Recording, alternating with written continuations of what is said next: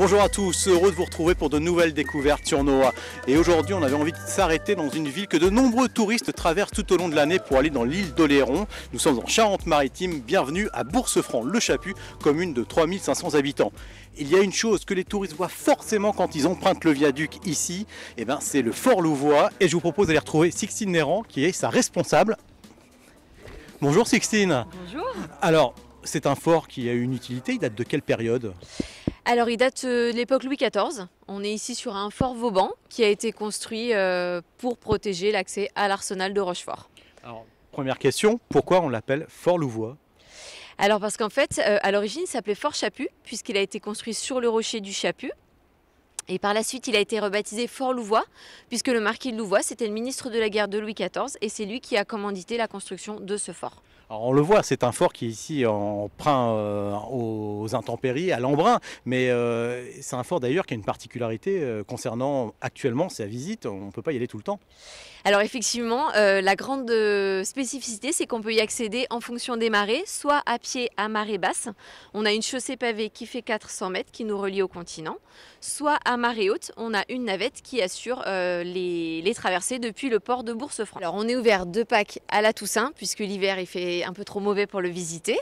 Euh, et après, donc on a le- les navettes qui sont là surtout euh, pendant les vacances et, et puis l'été évidemment. Donc les navettes, ce sont des, des petits bateaux, c'est ça? Alors c'est un chalon ostréicole en fait qui a été adapté pour l'accès au public. Donc il y a des bancs, on est plutôt bien installé et en 5 minutes on arrive au fort. Alors on, va avancer un petit peu sur, euh, ces, remparts. Derrière nous, ces canons, ils ont vraiment servi?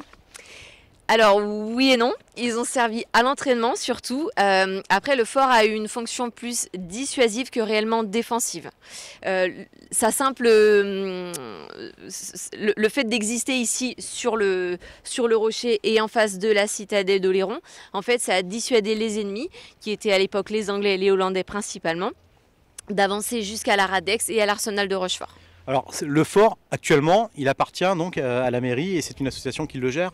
Absolument, il appartient à la commune de Boursefranc depuis les années 60. Euh, en fait, le fort avait été bombardé en 44 par les Allemands. Le fort l'a racheté en ruine et euh, ils ont entrepris 10 années de, de travaux pour le restaurer.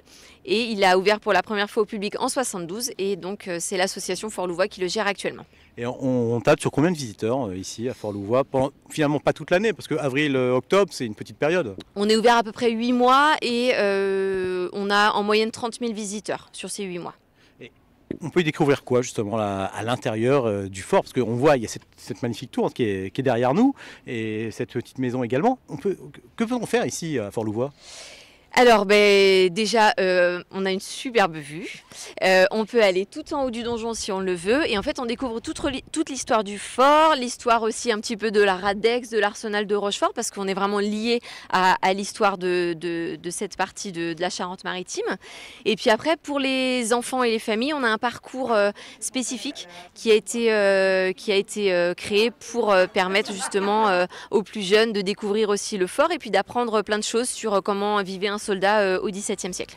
Et donc là justement, on pourra cette année en profiter jusqu'à quelle période à peu près? Là, on ferme le 13 novembre cette année. Merci Sixtine qui sera toujours enchantée de vous accueillir ici à Fort-Louvois.